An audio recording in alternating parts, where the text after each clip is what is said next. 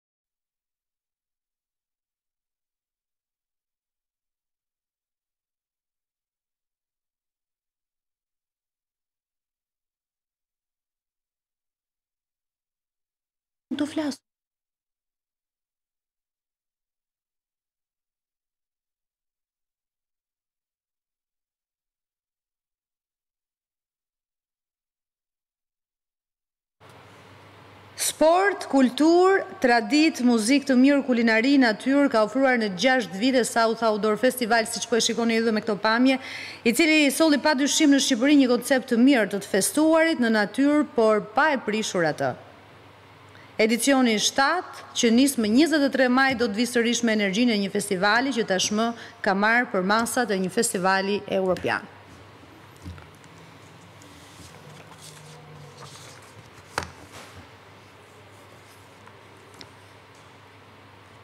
Mirë, e kemi nisur kështu në fakt këtë edicion informativ, kuptohet që do të flasim për South Outdoor Festival, jam në studio me Eraldo Rexho, përshëndetje. Përshëndetje, mirëmëngjes. Kënaqësi që je në Klan News edhe mbi të gjitha kënaqësi që je mëngjeseve në Klan News. Edhe për mua kënaqësi që jemi bashkë sot për të folur për edicionin e shtatë të South Outdoor Festival. Bashkë me ne Iris Kazazi, përshëndetje Iris. Mirëmëngjes Iva, faleminderit. Gjithmonë na i bën të bukura studiot edhe për më tepër që sot do të flasim për South Outdoor Festival. Eraldo në fakt është në edicionin e shtatë ky festival edhe ti më shumë se çdokush tjetër e di gjithë rrugëtimin Që ka pasur që prej edicionit një, në Vuno, në mos gaboj.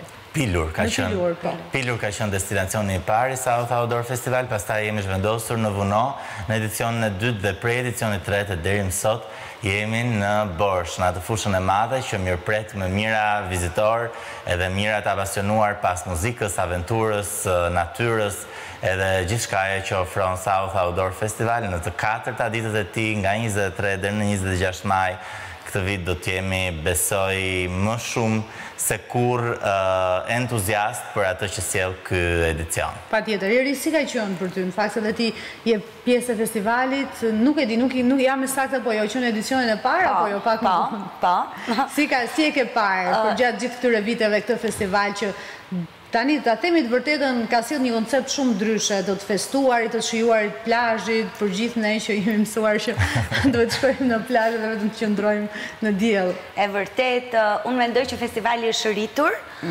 në gjithë këto vite.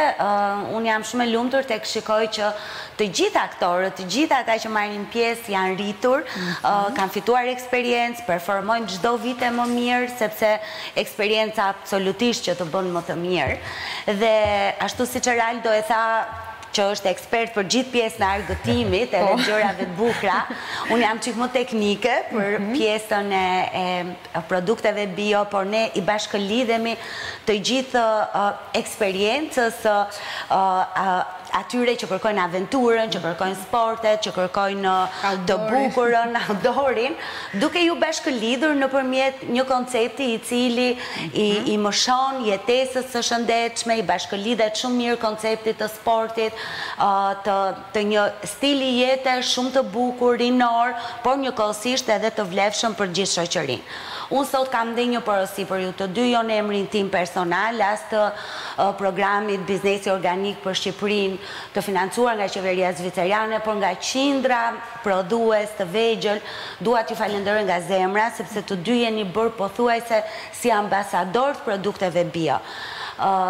Ndihma ka qenë e pakursyer, ju keni përdorur të gjithë infrastrukturën tuaj si influencer, si njerëz që ju ndjekin, për të promovuar iniciativën dhe, këtë kauzë që është shumë shumë e rëndësishme në kohët që po jetojmë.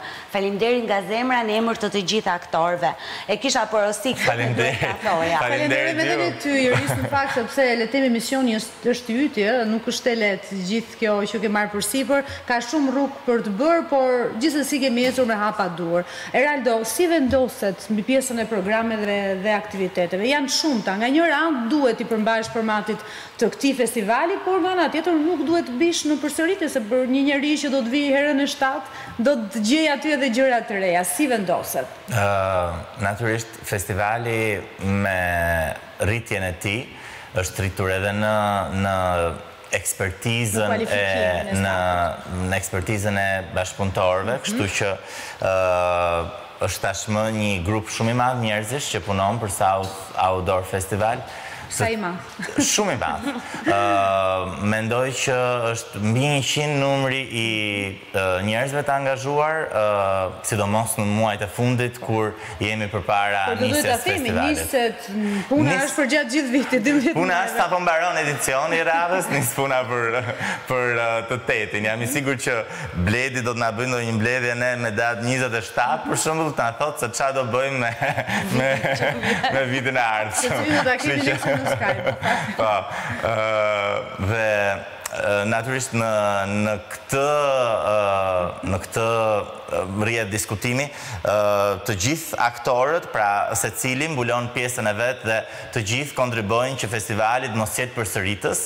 Ne sjellim për vit njërisi dhe një arsye pse njerëzit duhet t'i bashkohen festivalit.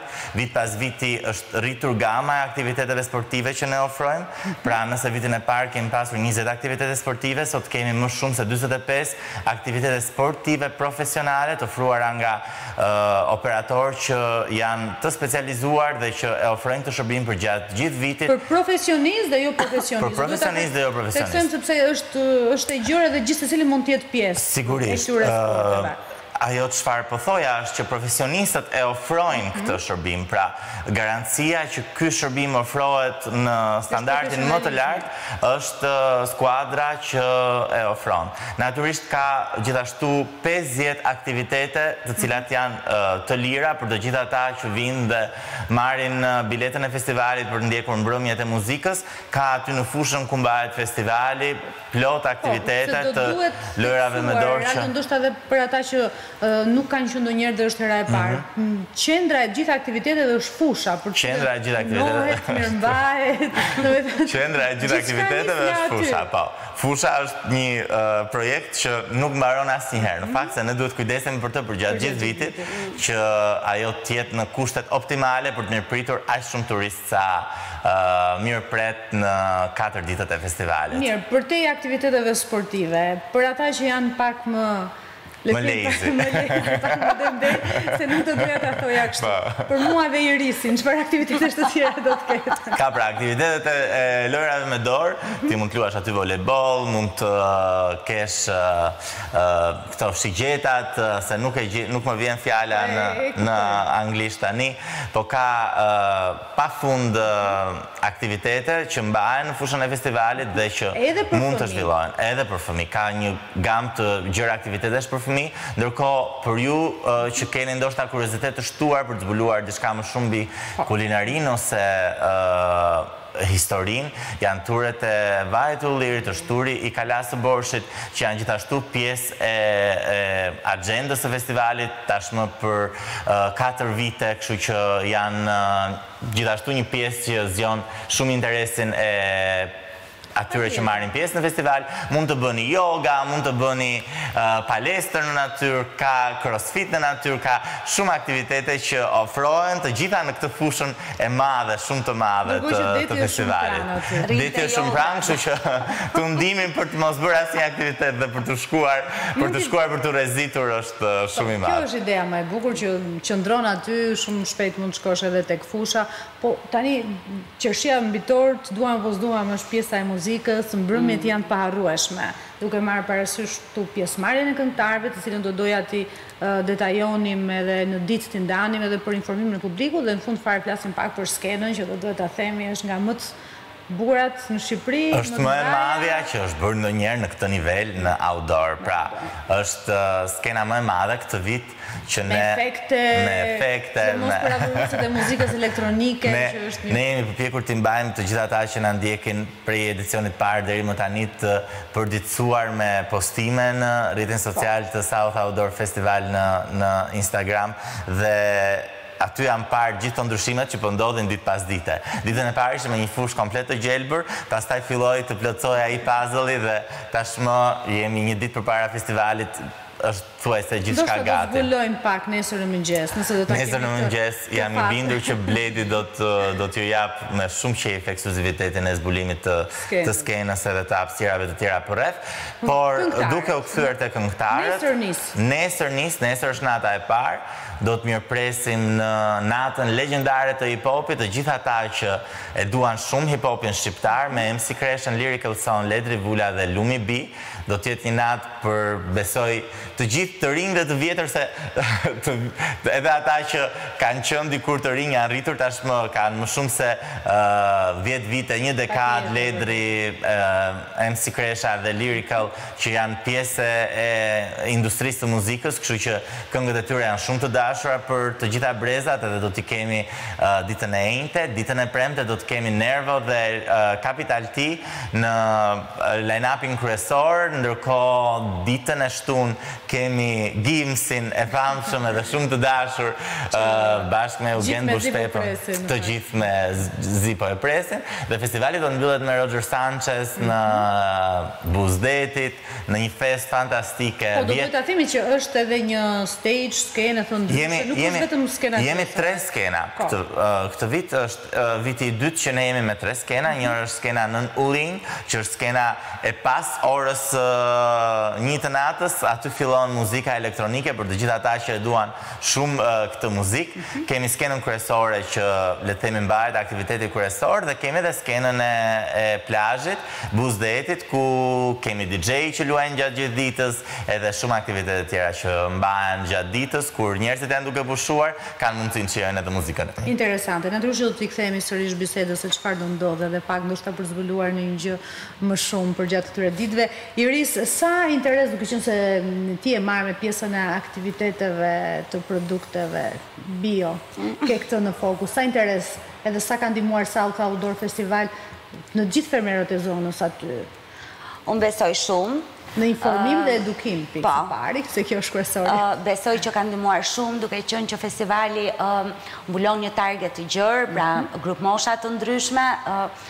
Kjo ka bërë që të gjithë ata aktorët, qoftë ekspertët që foli Eraldo të sporteve, të tureve të ndryshme, të degustimit, e tjere tjere, të gjithë kanë pasur një mundësi të jashtëzakonshme, Sepse, duke takuar njerëz të ndryshëm, target grupe të ndryshme, ti ke mundësi të marrësh informacion shumë të rëndësishëm për për të zhvilluar më tej biznesin.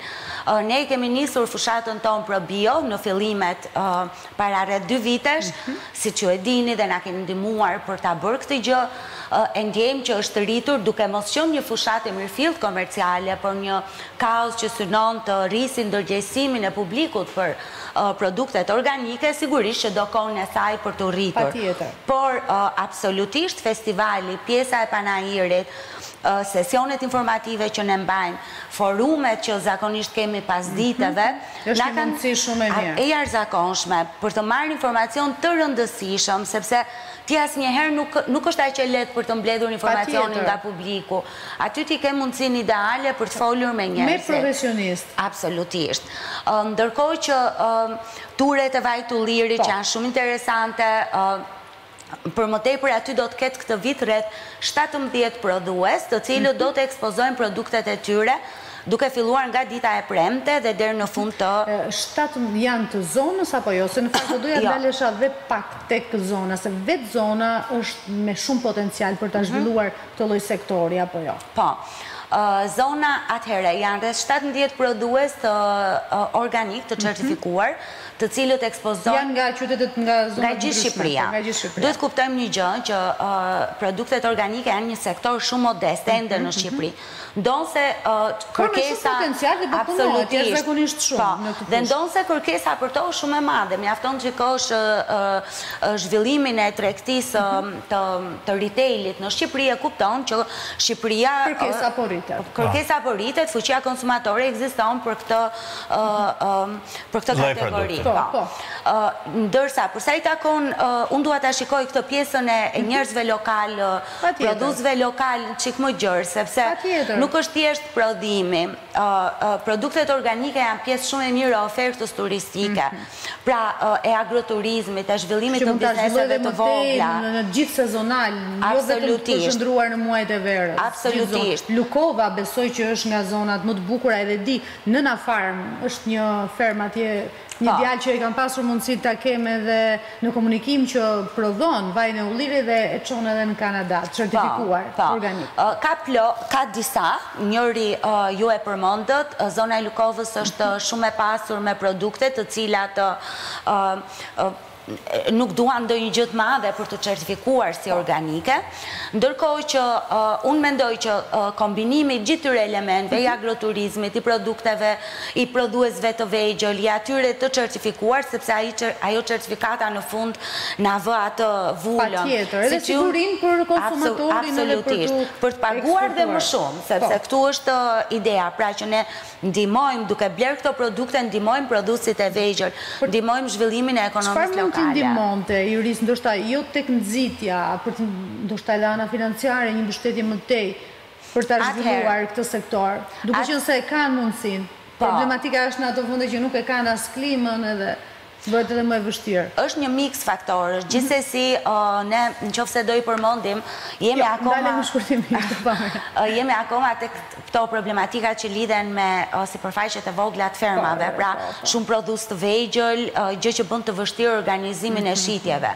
Sepse në fund ditës çdo gjë që është e qëndrueshme duhet të gjenerojë të ardhura për ata që e prodhojnë. Qartë, shkon zinxhir gjithçka. Po, dhe ndoshta do kohën e saj, do organizimin e njerëzve, e cila është pjesa një çik më e vështirë te ne, po jo vetëm, besoj, kudo, që të bësh njerëzit bashkë. Gjithsesi, prandaj ne jemi përpjekur, le të themi, nëpërmjet fushatës ProBio, nëpërmjet krijimit të platformës me Informacione për sektorin organik, ku kushdo që do të kërkojë për prodhues të certifikuar, kushdo që do të marrë më tepër informacion çfarë janë, pse duhen konsumuar, ku mund t'i gjejmë, mund t'i drejtohet këtij portali. Ndërkohë dhe për eksportuesit nga ana tjetër. Tani për t'u rikthyer tek Sofi, kemi shtatëmbëdhjetë prodhues të cilët vijnë nga e gjithë Shqipëria, Janë ata që janë të certifikuar si organikë, kemi disa produkte inovative që janë futur, për shembull një gjë shumë interesante e arritur nëpërmjet ose në soft ishte bashkëpunimi që kanë krijuar prodhues të vegjël me njëri-tjetrin. Së fundmi kemi për shembull një zonjë e cila është nga zona e Shkodrës që bashkëpunon me një grup grash ka arritur dhe po prodhon një lloj kozmetike handmade ose sapuna me vajin organik të ullirit, si dhe me mjaltin e certifikuar organik. Pra, duke u, duke njohur dikë tjetër, duke parë një mundësi. Shkëmbejnë eksperienca. Absolutisht, shkëmbejnë eksperienca. Dhe ne nëpërmjet programit tonë këtë jemi përpjekur që t'ju ofrojmë këtyre prodhuesve. Ashtu siç ka dhe raste të suksesshme të eksportit, të cilat ju i keni vizituar dhe vetë, i njihni, i keni prekur. Patjetër. Patjetër, edhe publiku, jo vetëm ne. Eraldo dhe duke qenë se po flasim le të themi për prodhimet vendase dhe për banorët që jetojnë jo vetëm në Borsh, rolin më kryesor për të ndihmuar dhe mbështetur festivalin padyshim e kanë edhe strukturat mikpritëse, jo gjithmonë hotelet, por edhe shtëpitë e banorëve të zonës që i hapin dyert për të gjithë vizitorët e South-it dhe do duhet ta theksojmë se një nga qëllimet kryesore të festivalit ka qenë pikërisht kjo, çelja e sezonit më herët se ç'nis zyrtarisht. Janë gati? Prej vitit të parë e deri më sot, festivali ka bërë masivisht këtë gjë. Pra, gjëja që, misioni që është arritur më me shumë sukses është ky, zgjatja e sezonit turistik. Ndryshe nga ato muajt standard, ne I detyrojmë në një formë të gjitha strukturat pritëse që të hapin dyert nga Himara deri në Sarandë që prej nisjes së festivalit, që është fillimi i, fundi i pranverës dhe fillimi i verës, por shumë pak njerëzit në këtë periudhë zgjedhin që t'i drejtohen, Nuk është traditë, le të themi, nuk është tradita më. Që të shkojmë aq herët të bëjmë pushime apo të frekuentojmë jugun e vendit. Kështu që kjo është diçka që. Ju ka dhënë një një ndihmë shumë të madhe, jo vetëm për mënyrën e menaxhimit, por edhe ndihmë të drejtpërdrejtë financiare, do duhet ta them. Është një nga një nga katalizatorët më të mirë ekonomikë për të gjithë zonën South Outdoor Festival. Duhet të themi që Borshi ka marrë një jehonë të shtuar me nisjen e edicionit të parë të South Outdoor Festival në Borsh dhe sigurisht kjo ka ndikuar në shtimin e strukturave pritëse atje.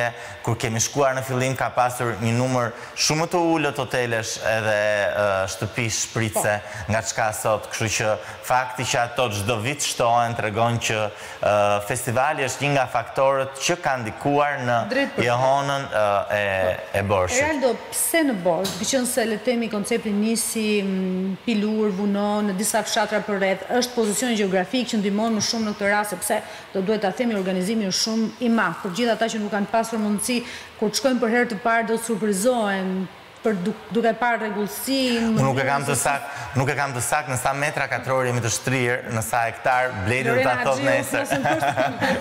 Bledi do ta thotë nesër me me centimetra, se është i vetmi njeri që ndoshta e ndjek të gjithë perimetrin ku mbahet festivali centimetër më centimetër, po është absolutisht një hapësirë shumë e madhe, është natyrisht pozicioni gjeografik, Borshi ka vijën më të gjatë bregdetare në të gjithë Jugun dhe kjo na jep ne shumë dorë për zhvillimin e shumë aktiviteteve pranë fushës ku mbahet festivali. Fusha ku mbahet festivali është e vetmja në zonë e shtrirë e pozicionuar aq mirë me të gjitha hapësirat organizuar, qoftë hapësira ku janë të pozicionuara tendat e atyre që zgjedhin ta kenë të gjithë këtë eksperiencë aventurë, qoftë hapësira e parkimit, qoftë hapësira e lojërave me dorë, qoftë. stexhi ku mbahet festivali, qoftë pjesa e e shërbimeve që janë aty, restorantet apo baret që le të themi zhvillojnë aktivitetin përgjatë ditëve të festivalit.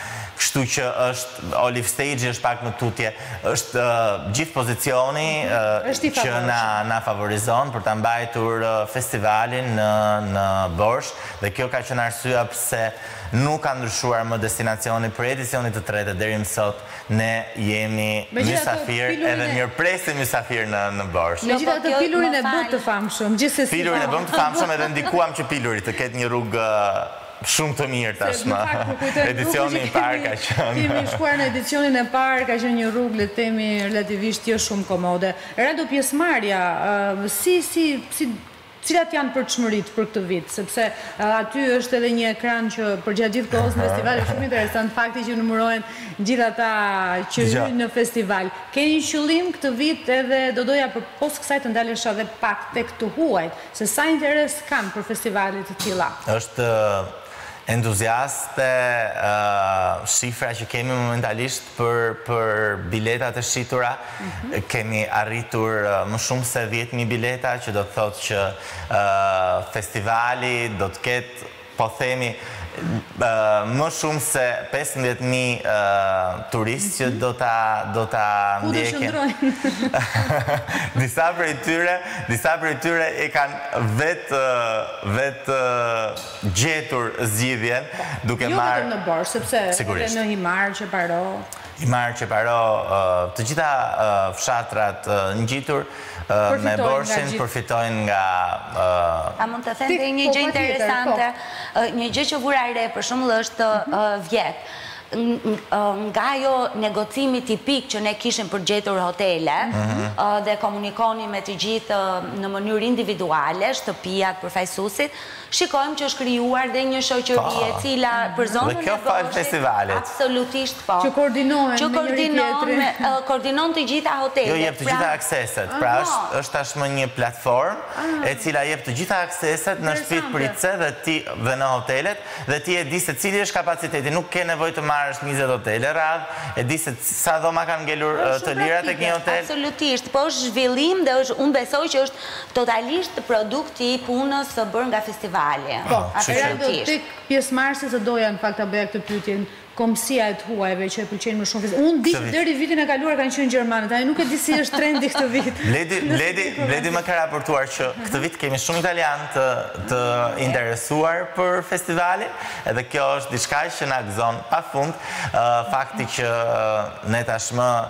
E kemi shpërndarë hartën edhe gjeografinë e vizitorëve të festivalit.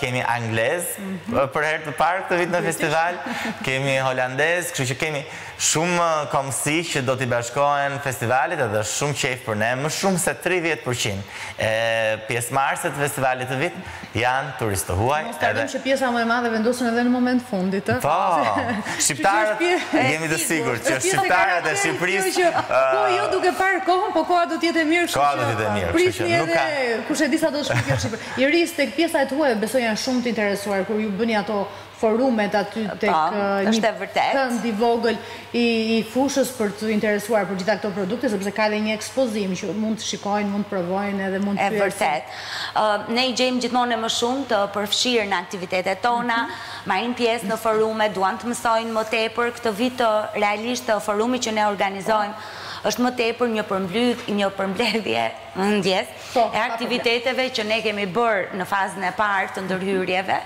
të huajt janë të interesuar më shumë të eksplorojnë këtë pjesën e llojit të produktit, llojit të certifikimit, ku prodhohet, origjina, dhe kur vijnë, vijnë me idenë, sidomos vizitorët për herë të parë, vijnë me idenë që Shqipëria është një vend deri diku ekzotik, ka shumë për të mësuar, kuzhina është e veçantë, Dhe realisht kështu është, ë? Për shembull, unë e gjej shpesh shumë të vështirë kur udhëtoj jashtë të gjej të njëjtin ushqim me të njëjtën shije siç jemi mësuar këtu. Edhe kjo, festivali sjell një super shije në fakt përgjatë të gjitha ditëve. Ne kemi aty përveç gatimeve që le të themi janë snacks ose janë fast food që mund të konsumohen shpejt, ka produkte të zonës dhe ka gatime tradicionale të cilat të gjithë ata që që i provojnë për herë të parë janë të mrekulluar dhe shumë entuziastë për shijen që kanë provuar. Personalisht Eraldo, gjëja që vlerësoj më shumë tek ky festival është pikërisht ai sinkronizimi apo le të themi ajo ndërthurja ideale e traditës me modernen. Edhe janë grupet polifonike të zonës që performojnë pikë së pari që shikon edhe një entuziasm në sytë e tyre teksa kanë këtë mundësi për të treguar traditën e tyre. Do të ketë edhe këtë vit besoj. Patjetër, ne nuk do t'i humbim gjërat e mira, ne vetëm shtojmë, vetëm shtojmë, Paralelisht me traditën. Vetëm shtojmë produkte Edhe programe që munden ta pasurojnë festivalin pa diskutim polifonia është një nga ato pika që ne na na identifikon edhe është natyrisht është krenari është një nga pasuritë tona në UNESCO kështu që sigurisht do të jetë pjesë e festivalit siç ka qenë çdo vit Ndoshta jo përgjatë të gjitha mbrëmjeve, por do të ketë elementë të polifonisë prezent. Po, edhe një pyetje të fundit që ti lëmë ca gjëra për të diskutuar nesër në detaj, në mëngjes. Eraldo, një pyetje shumë e thjeshtë, si mund të bëhemi pjesë e festivalit edhe çfarë është ajo kutia që mban? Southoutdoor pikë al është portali, është portali ku mundet, kjo është bileta për ty Iva, ne kemi sjellë në studio. Zbuluar që të Tënd për të gjitha netët e festivalit. Mhm. Kjo është aksesi që mund ta marrin dhe fizikisht ata që do të vendosin në minutë të fundit, siç e thamë, në hyrje të festivalit. Natyrisht mundet ta bëjnë ende rezervim online deri nesër në nisje të festivalit sepse pas atij momenti Nuk jemi më në gjendje që të ndjekim edhe porositë online edhe porositë fizike, kështu që deri në nisje të festivalit mundet ta marrin biletën online deri nesër southoutdoor pikë al është faqja zyrtare e festivalit mund të na ndjekin rrjetet tona sociale për çdo informacion shtesë southoutdoor fest na gjejnë në instagram kështu që kaq i presim të gjithë këtë fundjavë në Borsh sepse do të jetë vërtet një edicion i jashtëzakonshëm Si asnjëherë më parë, festivali këtë vit është rritur në një nivel të të jashtëzakonshëm edhe jam i bindur që edhe energjia dhe qejfi që njerëzit do të marrin nga ky edicion do të jetë në të njëjtat nivele. As nuk e vë në dyshim këtë pjesë, por shpresojmë që të ketë një festival të tillë edhe në vende të tjera të Shqipërisë, në veri etj etj, e di që është në planet tuaja, po pak më e vështirë, po do flasim herë tjetër. Iris për ta përmbyllur, për ta përmbyllur s'të lë Eraldo se i thotë të gjitha. Me kaq të mirë. Megjithatë unë dua t'i ftoj të gjithë, përveç gjithë argëtimeve, vizitoni panairin, keni mundësi të flisni direkt me prodhuesit, fëmijët kanë një kënd shumë të bukur ku mund të bëjnë ca mini aktivitete. Me disa vajza që kanë dalë vullnetare për të na ndihmuar, kështu që ju Sa qejf, sa qejf. Shumë qejf. Unë përpara se ta mbyllim Iva do doja të falenderoja të gjithë grupin Klan për mbështetjen këtë vit jemi këtë vit jeni me ju media partner edhe ka qenë i gjithë ky rrugëtim shumë i bukur. Ndoshta për të zbuluar sado pak Si do të jeni prezent, do të jetë gazetari ynë fakt Maksi Rama që do ta përfaqësojë Klan News-in denjësisht jam e sigurt në këtë festival. Do të kemi do të kemi herë pas here ndërhyrjen e do të kemi prezencën do të kemi prezencën e Klan News-it nga dita e parë e festivalit deri në ditën e fundit, kështu që besoj që të gjithë shikuesit tuaj do të jenë të përditësuar Kohë pas kohe me aktivitetet që do të ndodhin në festival edhe jam i sigurt që edhe ata edhe ata që do ta humbin këtë edicion do të xhelozojnë nga shtëpia kur të shikojnë se sa bukur po kalon ky edicion. Uroj që mos jetë shumë vonë për ata kështu që të bëjnë sa më parë prenotimet Eraldo Iris kënaqësi që keni qenë me mua në Klan News jeni gjithmonë të mirëpritur. Mirë, ne do të shkëputemi për pak publicitet.